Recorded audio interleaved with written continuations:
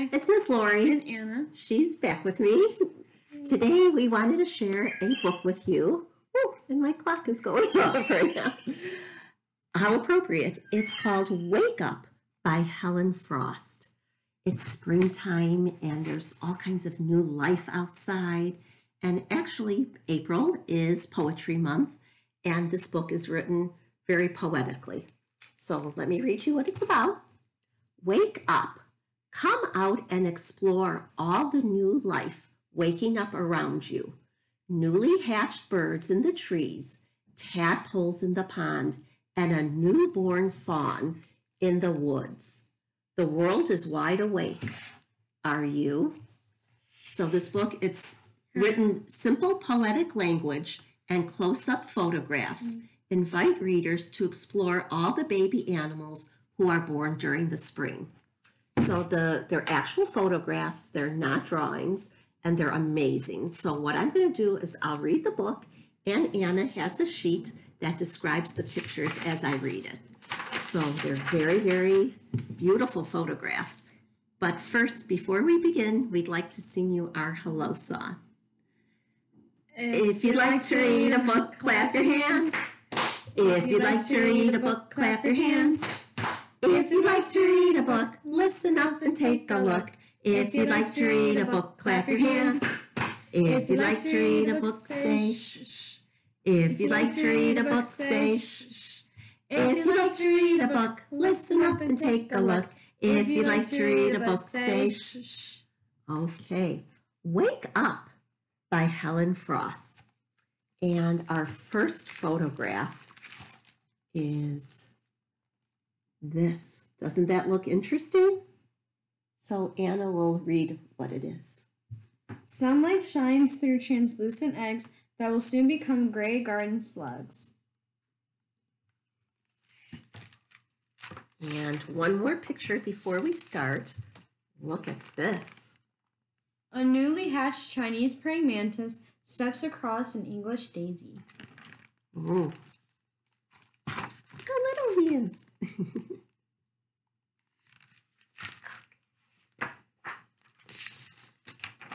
Sun says, Wake up! Come out and explore. Okay, A sandhill crane chick, about a week old, goes exploring. he's only a week old.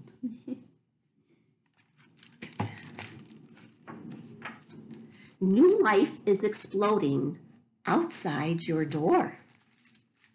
There's two pictures, so Anna will do the first one. Baby American robins open their beaks as they wait for their parents to feed them. He's hungry.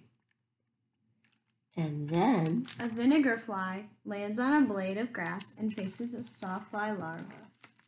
look at him. So tiny.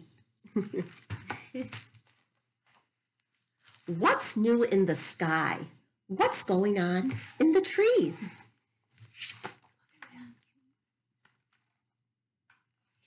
Mating pairs of two different kinds of birds, great blue herons and great white egrets, bring sticks and build nests at the top of the tree. Do you see them? Look at the blue sky.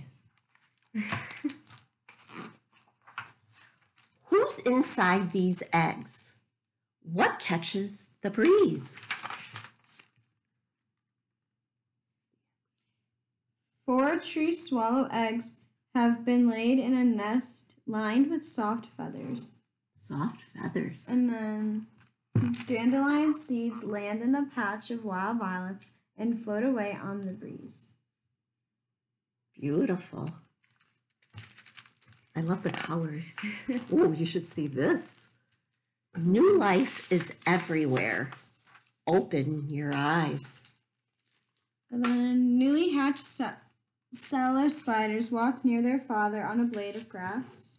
Look at him. And then the pink one is a Chinese praying mantis casts a shadow on the petal of a peony. Beautiful. I love peonies. They're so colorful. That might be an ant. But look, it flies.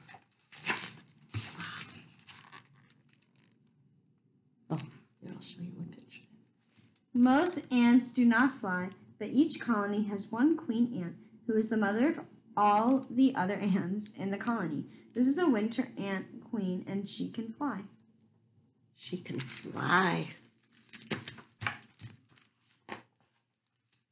At the edge of the pond, where frogs croak and kiss, look into the water.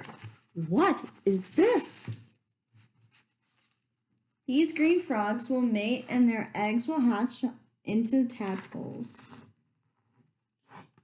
And then, This tadpole lives in the water as it grows into a red eyed tree frog. ooh.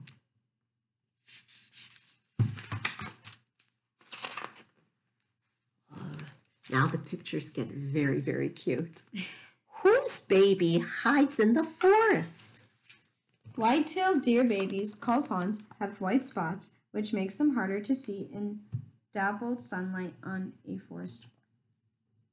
A fawn. She's so cute. And it gets cuter. Which twins are born on a farm? These lambs, the babies of domestic sheep, were born within minutes of each other. They are just a few hours old. A few hours old. They're not even a day old. so precious. Oh. But this is your favorite? Yeah. Who breaks out of an eggshell and snuggles close and warm? A newly hatched mute swan, called a cygnet, is still wet as it stays close to the other cygnets who hatched before it. And then. Oh. No, okay. Wait. Did we read you? A hatching mute swan is pecking a hole in its shell. Okay. Look how cute. These are my favorites. so many new creatures with so much to do. The world is wide awake. Are you? A family of woodchucks comes out from under a bridge into the sunlight. A common grackle, not quite ready to leave the nest, calls out for food. He's saying, I'm hungry. Feed me. And I think we have one, One more more. picture. Look at this.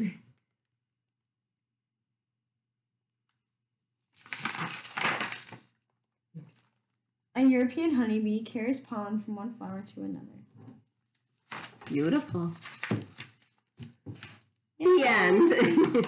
I hope you enjoyed our book about spring and all the new life that comes out. It's so exciting in the spring. I hope you go outside, take a walk, and see what you can find around your neighborhood. So thank you for watching, and we want to say goodbye now with our goodbye Bye. song. And it's time to say goodbye to our friends. It's time to say goodbye to our friends. Story time is done today, so come again another day. It's time to say goodbye to our friends. Bye, everyone. Sorry we got confused. Enjoy spring, and thank you for watching. bye. Bye bye.